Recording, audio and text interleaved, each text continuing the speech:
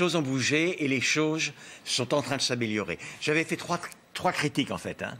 Je vais les reprendre très très rapidement. La première critique était que ce plan avait été euh, bouclé fin novembre, annoncé par le Premier ministre le 13 décembre, je crois, à une période où vraiment on pensait que l'on allait vers moins de 5000 contaminations par jour avec une amélioration vraiment continue.